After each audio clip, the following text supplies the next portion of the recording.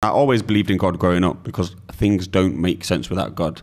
It's just everything works too well for it to be Yeah. a coincidence. Like I wasn't even from a kid, I knew like the way electricity works, the way that water evaporates into the air and it rains, and the way that if you cut your skin, it'll make new skin. If you thought it heals you, just everything about life works far too precisely for there not to be a God. So I always believed in God.